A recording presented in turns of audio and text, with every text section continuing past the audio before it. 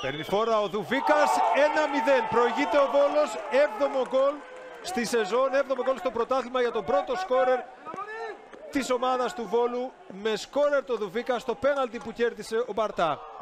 Και ο Ρενάτο που διώχνει μακριά και φεύγει πολύ γρήγορα στην κόντρα επίθεση. Ο Δουβίκας ένας εναντίον ενός. Ο Δουβίκας προσποιεί την έχει στο δεξί, έκανε το σούτ. Το μαχαία με τις προσποιήσεις βρίσκει το χώρο που θέλει, την έχει στο δεξί.